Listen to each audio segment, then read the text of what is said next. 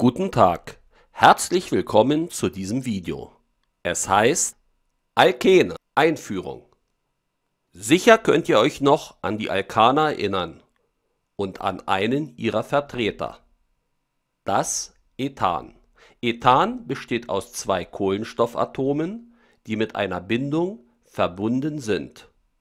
An jedem der Kohlenstoffatome befinden sich noch drei Wasserstoffatome jeweils mit einer Bindung verknüpft.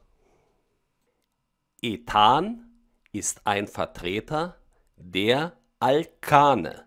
Es ist ein Alkan. Alkane sind chemisch ziemlich träge. Sie sind jedoch zu gewissen Reaktionen befähigt.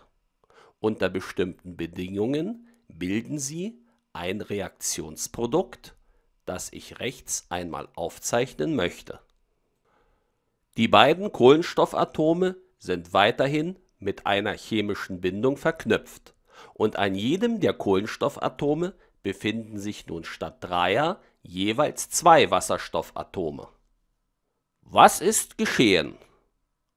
Vom Ethanmolekül wurden zwei Wasserstoffatome abgespalten und sind in Form von molekularem Wasserstoff. Den kompletten Film und viele weitere findest du auf www.sofatutor.com. Über 7000 Lernvideos erklären dir, was du für gute Noten wissen musst.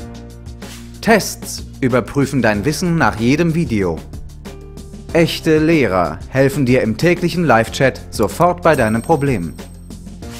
Du kannst außerdem Privatstunden bei deinem persönlichen Online-Tutor buchen, um tiefer in ein Thema einzutauchen. So helfen wir dir, deine Zensuren ohne großen Aufwand zu verbessern. Probiere es am besten sofort aus. Auf www.sofatutor.com